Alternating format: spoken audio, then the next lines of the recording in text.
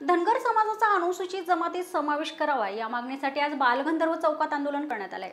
धनगर समाजाच्या विविध मागण्यांसाठी आज चक्काजाम आंदोलन करण्यात आले यावेळी मोठ्या प्रमाणात आंदोलनकर्ते उपस्थित होते.